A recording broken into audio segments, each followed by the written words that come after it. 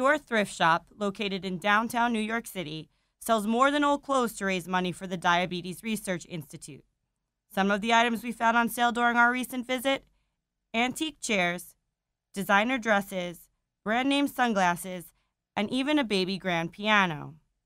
It, the prices in the store can range from $1 all the way up to $1,000 depending on the item.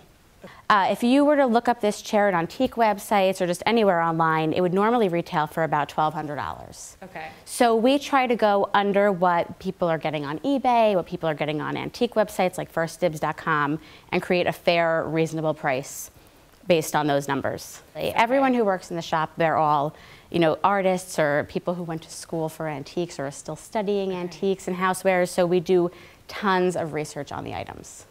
When it comes to apparel, the formula is similar.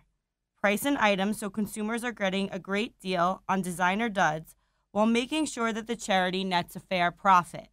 So this dress is actually a bridesmaid dress from Two Birds Bridesmaid and it retails for $600. It was worn one time for a wedding. We are going to be selling it for $200 this weekend. Then again, we have an H&M dress here that probably retails for about $29.95 and we have it for $12. Okay. Of course, committed thrifters can always wait in hopes that their favorite item will still be around when prices drop. Uh, actually, every season we do a dollar sale where we sell every single item of clothing for just a dollar. And we get more clothing than anything else, and we don't have much storage, so we just need to turn the items over and get them out of the store.